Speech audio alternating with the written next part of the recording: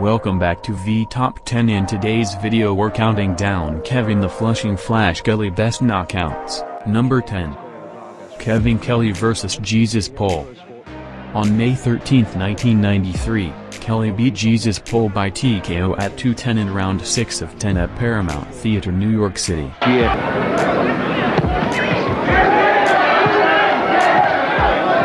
Had one World Championship fight, that was for the WBA Super Bantamweight title back in 89. Nice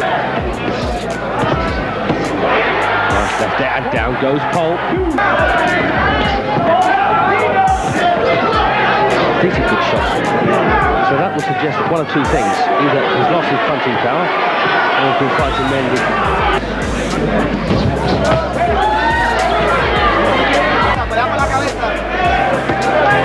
Bring the head up with an uppercut.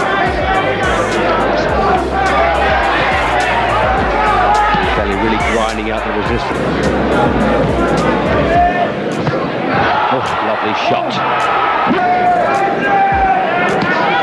Again, a big hefty left hand from Kelly, followed by a right hook. Poll wants to win this. He really desperately needs a good win, and that's gone over again. That's the third time he's hit the deck. Step forward. And again, Kelly strikes to the left hand. Poll still under pressure.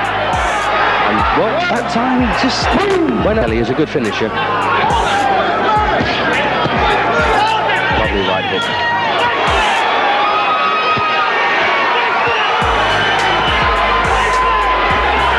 What a good exhibition this from Kevin Kelly. And the referee immediately Number 9. Kevin Kelly vs. Raul Franco.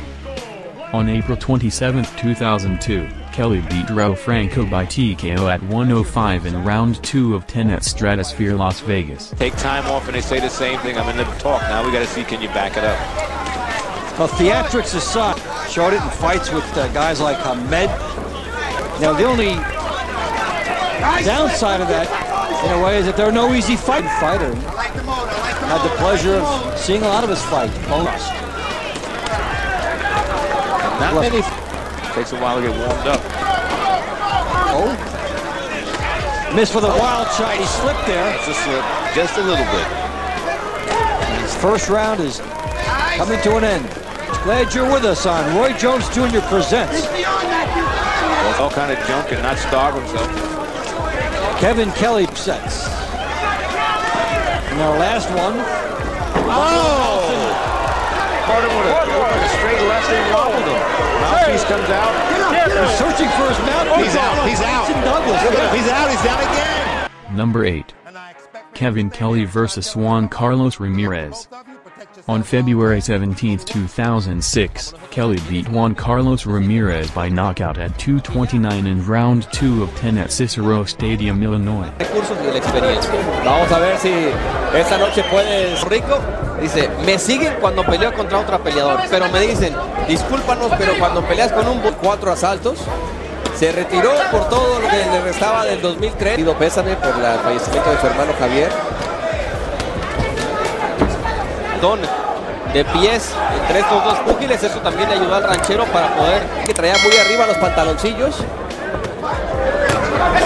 Sube eh, prácticamente hasta las axilas. Sumamente rápido. Por supuesto que conforme avanzan los años, no lo mismo los. ¡Oh! ¡Qué mano izquierda por parte de Kevin Kelly! Está en problemas al mexicano y le apaga las luces prácticamente. Esa mano izquierda el doble. Y está completamente torcido ahí Juan Carlos el ranchero Ramírez y no se va a poder incorporar. No solo fue el Number 7. Kevin Kelly vs. Roberto Villarreal. On September 25, 1992, Kelly beat Roberto Villarreal by knockout at 240 in round 3 of 10. top uh, tour's performance tonight.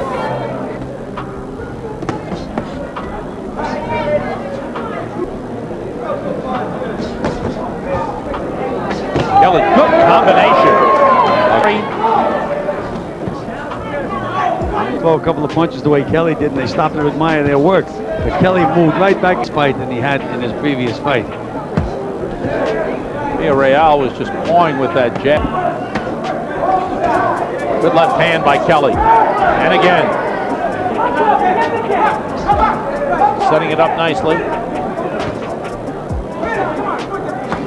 There's another good left hand by Kelly. Kelly with a good flurry and a left hand that landed beautifully, sending down Villarreal. The count is six. The count is eight. He will not get up. It's all over. Number 6. Kevin Kelly versus Sandro Marcos. On November 4, 2005, Kelly beat Sandro Marcos by TKO at 2-23 in round 4 of 10. Y a pesar de que tiene 38 años de edad y el trabajo al cuerpo que está demostrando a estas alturas, él es de UCLA, celeste y dorado, nuevamente. Estuvo ya en Nueva York, es para mi esposa. Ah, ok, ok, ok. Buena, momento. Cuando se pelea un zurdo con un derecho, porque el pie de apoyo y que izquierda conecta ahora Sandro Marcos a la mandíbula de Kevin Kelly, lo envía allá en La Paz, Baja California. Viene el uppercut de, de derecha por parte de Kevin Kelly. Es el punto fuerte de Sandro Marcos, aunque por el momento lo envió a la lona con una derecha arriba. Le hacen daño a Marcos, se lo quitan de encima. Nosotros vamos a la pausa y regresamos con más en solo boxeo de Miller. Que buscan la oportunidad de título mundial. La gana ya Kevin Kelly lo hace pagar con el gancho a la zona hepática. Sandro Marcos, excelente. Abanicó a todos. Muchas, muy malas intenciones de Marcos ahí. La forma con el jab es eh, impecable Kevin Kelly, pero ahí comete el error de no regresar la mano derecha a la zona defensiva y hay un gancho. Lu Morel le tomó la cuenta de protección a Marcos, pero precisamente lo que va a hacer Kevin Kelly comenzando le faltan 40 segundos y vuelve a visitar la lona. Lu Morel dice que Number 5. Kevin Kelly vs. Agustin Silva. On December 15, 1988, Kelly beat Agustin Silva by TKO at 238 in round 4 of 4. And we'll be heading home to Puerto Rico. Very elusive targets and Has good upper body movement. Slip that Yeah. punch, very smooth. Ranking, number 12 in another.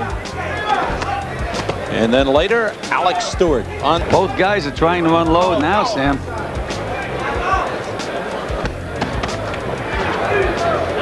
Kelly starting to use the quick hands on the inside. There's a chopping left that got in. Back in the same corner, right above us.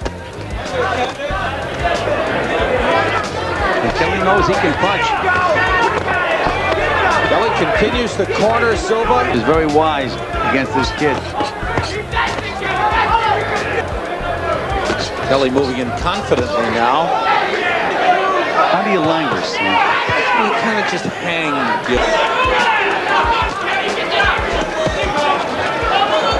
Hand beats the other guy to the punch. That's what it's all about. That's why you train that. There it is now. Real short, snappy. Just working him over here. Oh, down goes Silva for the combination. It's all over. No count. Number 4.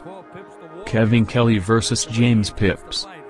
On July 23, 1991, Kelly beat James Pips by TKO at 0-26 in round 4 of 10. By decision. You move to your right, what you're doing is making a slugfest out of it, as Pips did then, and he gets nailed by some pretty solid punches. Kelly, Forward that right hand, and he's off balance. Kelly stumbled but recovered quickly. And using the Golden Gloves champion, New York Golden Gloves champion. Wow. That's impressive. Long, hard work and trying to climb back into number one contention. Right now, Kelly is all over. And apply some inside pressure.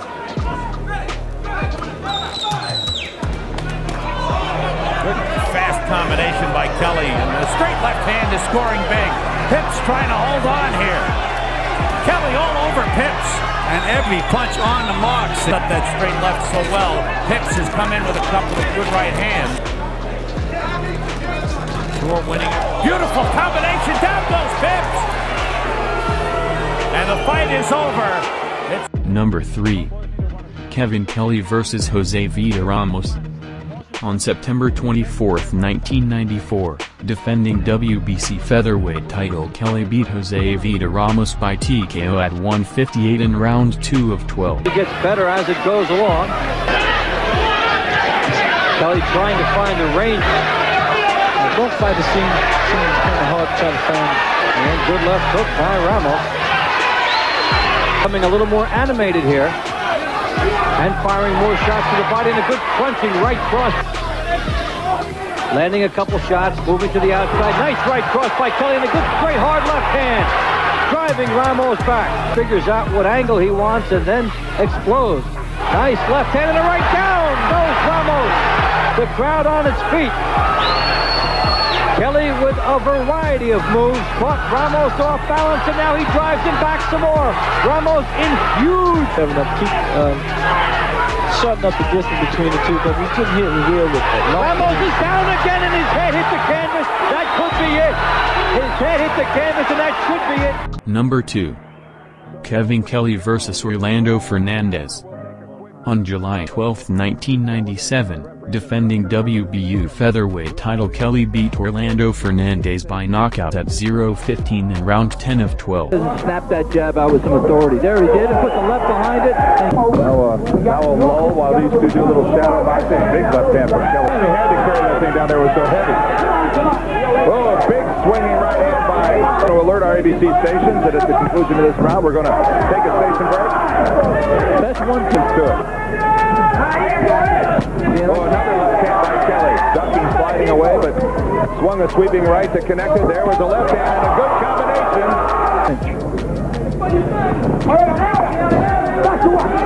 Right there, you there he is. Kevin Kelly loses balance, but come forward and land a good punch. And there's blood. I don't know if it's from where. There's blood on Orlando Fernandez. Might be the nose. He's taking some heavy punishment here. Five, six, seven punches landing by Kevin Kelly. Look at Kelly. Smoker hoping he stops it. We've made it to the end of the eighth round. I mean, the jab here do a couple of things for Kevin Kelly. Not, it was, not only would it set up his left, Has three more rounds to go if it goes to a 12-round conclusion. and and it's at this stage of the fight, Dan, that if I... Oh! Oh! It's over! Left hand! Left hand! Number 1. Kevin Kelly vs. Derrick Gainer. On June 15, 1996, defending WBU featherweight title Kelly beat Derrick Gainer by knockout at 216 in round 8 of 12. hand and before you try to land the left. At least touch him with the right hand jab before you try to bring that power punch. Tripling up on the jab there. Derrick Gainer still for the most part beating Kevin Kelly to the punch. Gainer sees the... And now Gainer goes down.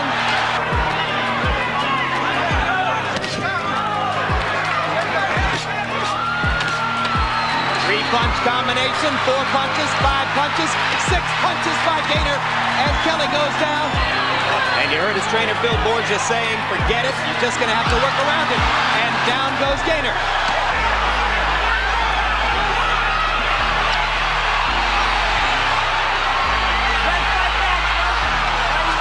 Kevin Kelly drawing on his desperation. Derrick Gainer's punch output, which had been up around 60, Slings that powerful straight left hand. and I think he's starting to hurt Gainer to the body with shots. Stay on the outside and win. Blood trickling from Kevin Kelly's nostrils now. Both sides bleeding. Down goes Gainer. left hand a bit, and Gainer may not get up. He will not get up. Six. Why would he fight a fight like that? Arturo Thank you for watching please like, comment and subscribe.